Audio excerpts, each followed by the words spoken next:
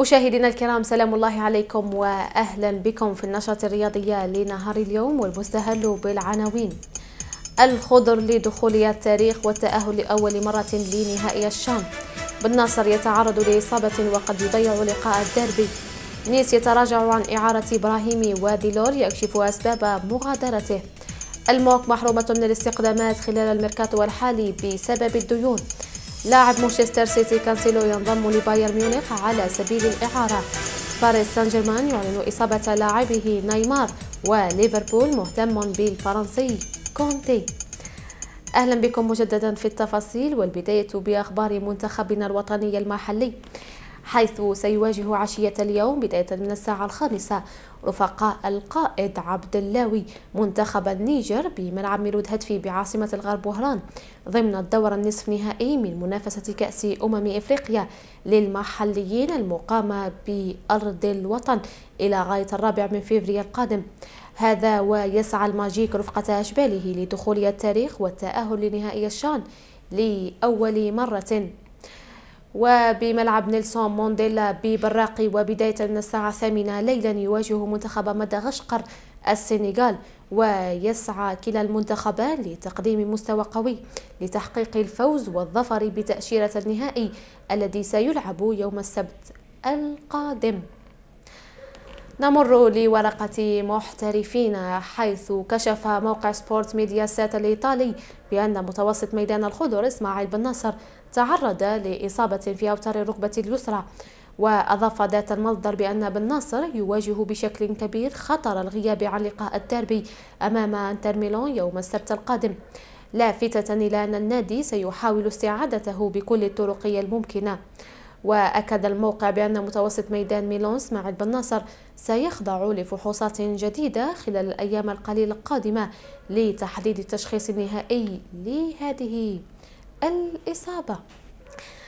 في الدوري الفرنسي وبعد أن انضم المهاجم السابق لنادي نيس الفرنسي أندي ديلور لنانت أمس كشف لاعب الخضر عن أسباب رحيله من نيس في رسالة نشرها عبر موقع التواصل الاجتماعي إنستغرام لمناصري فريقه السابق حيث قال قد قدمت إلى نادي نيس من أجل مشروع واضح وبذلنا كل مجهوداتنا من أجل التأهل إلى كأس المؤتمر الأوروبي لكن بعد ذلك المشروع تغير وعلى المسؤولين شرح الأمور. أفضل ألف رفض أحسن من وعد غير منفذ. وختم قائلا أشكر كل الأنصار المدرب واللاعبين وأتمنى لهم الأحسن في المستقبل. وفي أخبار نادي نيس دائما كشفت صحيفة ليكيب الفرنسية أن لاعب المنتخب الوطني لن يغادر تشكيلة النادي الفرنسي. بعد أن تحدثت تقارير عن انضمامه لنادي تروا على سبيل الإعارة. وأوضح ذات المصدر أن إدارة نيس تراجعت عن إعارة مهاجمها الجزائري بلال براهيمي إلى نادي تروا خلال الميركاتو الشتوي الذي سيغلق اليوم. وقررت أن تحتفظ بخدماته لإنهاء الموسم الكروي الجاري بعدما أدركت النقص الذي تعاني منه على مستوى الخط الأمامي مع رحيل مواطنه أندي ديلور إلى نادي. نانت. في أخبار كرة القدم المحلية وبالحديث عن فريق مولودية قسنطينة علمت المحترف من مصادرها الموثوقة أن فريق مولودية قسنطينة محروم من دخول سوق الانتقالات الشتوية بسبب الديون المسجلة باسمه في غرفة المنازعات والتي تعود لسنوات سابقة. وذلك رغم تقديم الإدارة تعهد بتسديدها مقابل الحصول على الإجازات وتأهيل اللاعبين الجدد بداية الموسم. وعليه فإن الرئيس حمزة بن راشي ينتظر صدور قرار استثنائي من الرابطة من أجل السماح له بتدعيم التشكيلة في بعض المناصب التي يحتاج إليها لا سيما وأنه يطمح للمنافسة على تأشيرة الصعود للرابطة المحترفة الأولى. لذا من المنتظر أن يحتفظ الطاقم الفني بالتعداد الحالي مع إمكانية ترقية بعض اللاعبين من صنف الرديف كما حدث مع اللاعب سيافي الذي تنقل مع التشكيلة.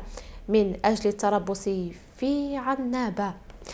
ومن جهة أخرى فقد قامت إدارة الموك بعد نهاية مرحلة الذهاب بتسريح ثلاثة لاعبين جملة واحدة ويتعلق الأمر بالمدافع نور الدين الميسي الذي غادر قبل أكثر من شهرين لظروف مهنية وقد يلتحق بفريق أولاد جلال أو أندية الجنوب التي تصر على جلبه على غرار اتحاد ورقلة واتحاد واتسوف.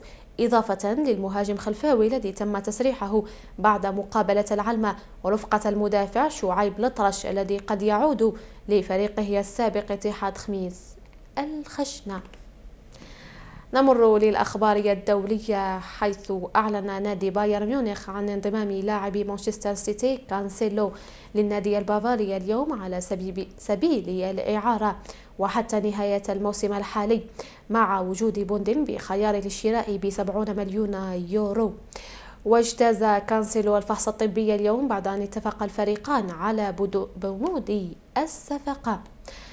كما أشارت تقارير صحفية إلى أن سبب رحيل كانسيلو عن مانشستر سيتي يعود إلى وجود خلاف مع الإسباني بيب غوارديولا المدير الفني للفريق الإنجليزي عقب جلوسه احتياطيا في المباريات الأخيرة.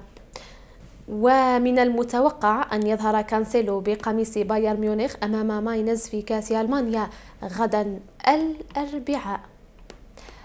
في خبر آخر أعلن نادي باريس سان جيرمان اليوم عن إصابة لاعبه البرازيلي نيمار دا سيلفا وجاء في بيان للنادي الفرنسي على موقعه الرسمي. يعاني نيمار دا سيلفا من إرهاق عضلي وسيواصل الخضوع للعلاج اليوم. يأتي ذلك قبل أسبوعين فقط من المواجهة القوية التي ستجمع سان جيرمان مع باير ميونخ في ثمن نهائي دوري أبطال أوروبا. في موضوع آخر يسعى نادي ليفربول للاستفادة من خدمات اللاعب الفرنسي نغولو كونتي لاعب وسط تشيلسي في نهاية الموسم الحالي. وينتهي عقد كانتي مع تشيلسي في الصيف المقبل ولم يصل الطرفان إلى اتفاق بشأن التجديد حتى الآن.